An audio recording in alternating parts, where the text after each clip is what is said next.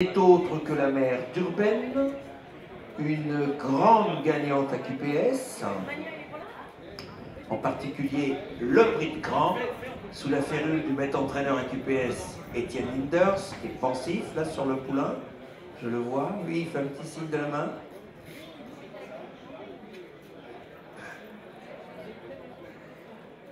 Et donc Urbaine, une grande représentante, c'est donc son frère que vous avez devant vous, par Policymaker, et il est né le 11 avril. Et ça n'est pas qu'Urbaine la souche, regardez, c'est Camillo, c'est Provence, que des classiques.